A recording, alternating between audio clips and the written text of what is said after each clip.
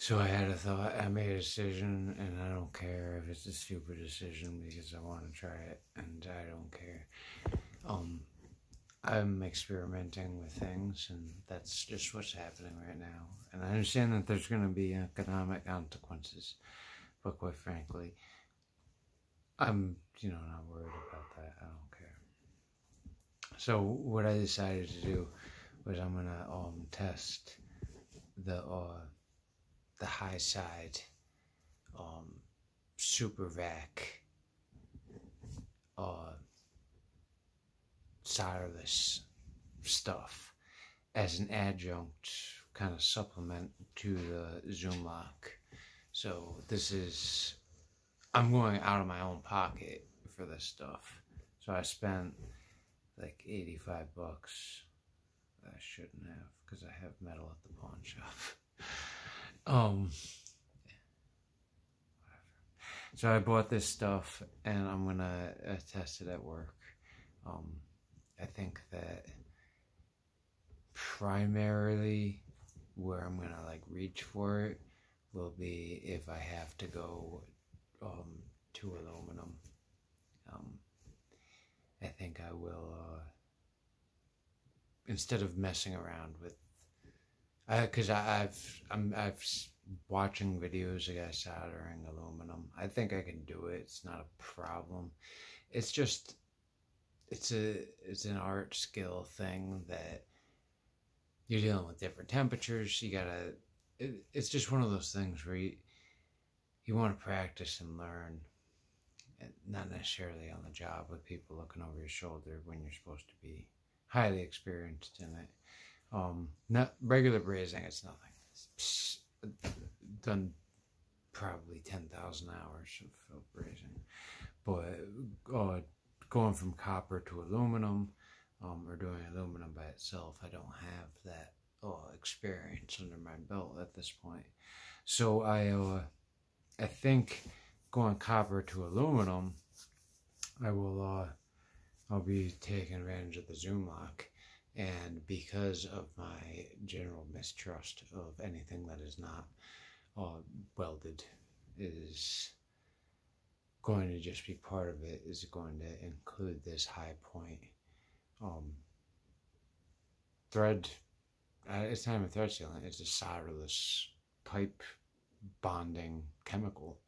Um, where I'm going to deviate from both manufacturers' recommended course of action is, you know, I'm to um, obviously do the, the Zoomlock to, to manufacture specs and depths and all that.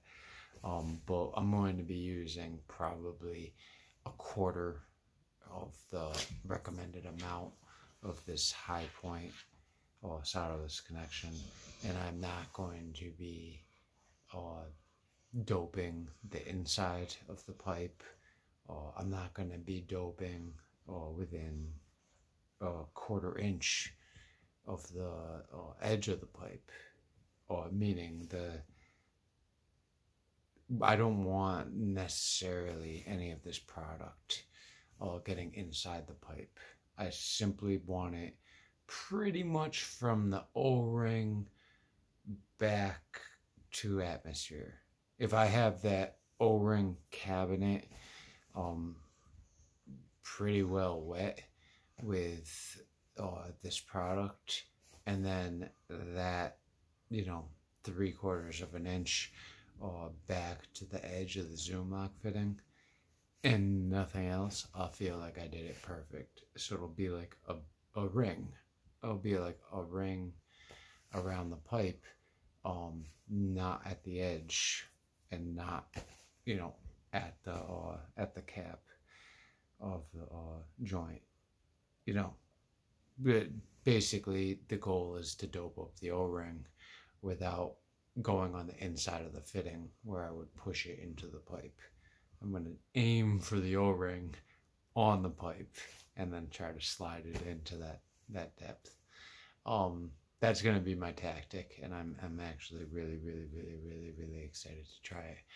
I think it'll be a, you know, I think Zoom it's going to be it's like impossible to tell, but it would be like one of those things where it'd be like a, a if you went side to side with a vacuum, you know, you had two pipes with a, a micron gauge at the uh, end of each pipe and five connections.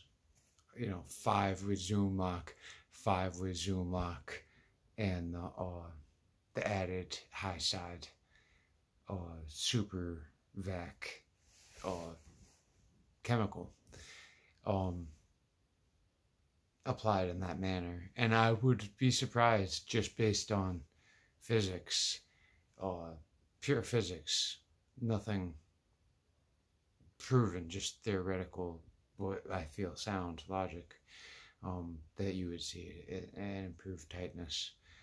Uh, and, and if the product holds true, longevity, uh, they're saying it's compatible with all refrigerants and refrigerant oils and all that.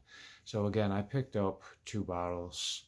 I'm not going to use it independently ever for any reason that I can imagine, but I'm going to be using it in conjunction with the original style made in America or Zoomlock products. Again, not a nationalist.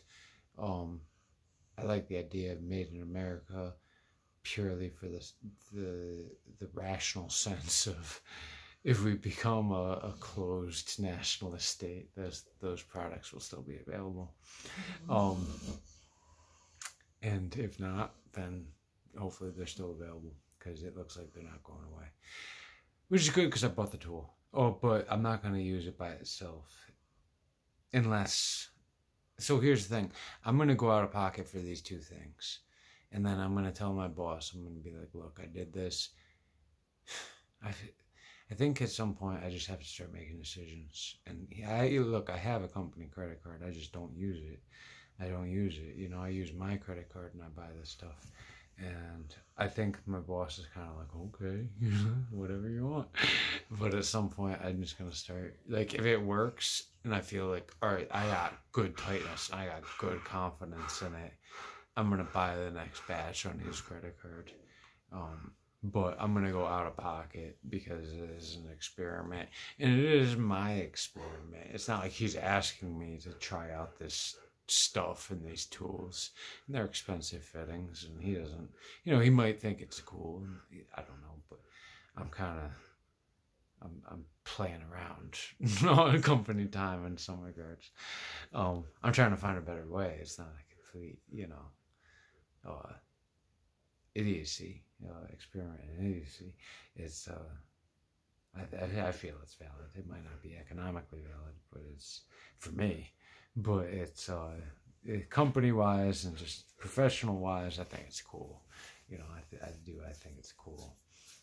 And, um, I think that I, I can't imagine it being bad.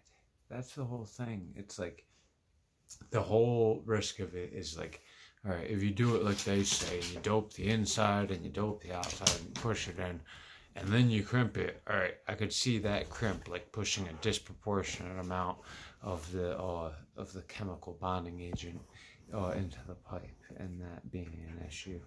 Um, but I think if it's applied with a, a rational degree of um, uh, respect, then it can only help. It could like I can't imagine. You, I mean, you're you're basically making a second level bond besides a compression fitting. You're you're making a chemical weld. Um, so you'd have a in a perfect world. Let's say you caught the the edge. You have a chemical weld. Well, no, you have a mechanical press weld. Then you have a chemical weld. Then you have a rubber gasket, and then you have another chemical weld with a press weld it's it's next level if you can kind of hit that mark. Um, I wouldn't want to ever like dope up the inside of the pipe. You know, maybe if I had like a Q-tip, I'd do the O-ring and like just the O-ring and then slide it on. You know, like something stupid like that. But I would like be cautious about getting it on the pipe and pushing that dope into the into the uh, the refrigerant flow. You know, it, they say it's compatible, but if it solidifies, it's not going to be compatible with a metering device, you know, if it breaks loose. So the whole point is to avoid that at any cost. And, you know, if I can achieve that and get an even tighter fitting that's even more secure, then I feel like I'm doing everybody a service. And uh, if I can do that, then that's cool. And if not, I, you know, if I feel like it's a waste or something, or, you know, whatever, it's it's solidified like something stupid. Like I can't get the timing right. It's that you got like thirty seconds, so you you you dope it and then you put it on and then you press it. If I can't get that timing right and I don't I don't feel like it's really, um, flowing or sealing or I'm getting leaks or whatever, then I only wasted, you know, $80 of my money. I didn't experiment with the boss's money. But I'll tell you what, if I have, you know, if I'm pulling 15 minute, 200 micron vacuums and I'm holding four or 500 psi pressure tests, he's buying the next bottle. He's buying 10 bottles. And he's going to buy the Zoomlock fittings. um, you know, I like the idea of on these little systems having my torch out and doing my thing. It's my art. I love it. It's how I make my living. But on some of these bigger jobs, especially where you're dealing with, you know, a, a big split system, the torch is out. You burn a lot of gas. You are and a lot of nitrogen if you're doing it right. And you know the tubing bender to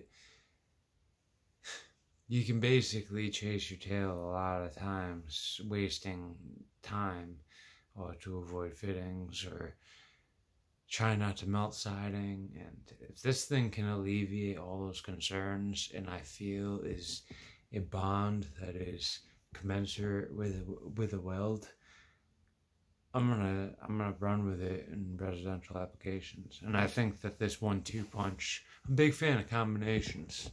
I think that nothing works in by itself.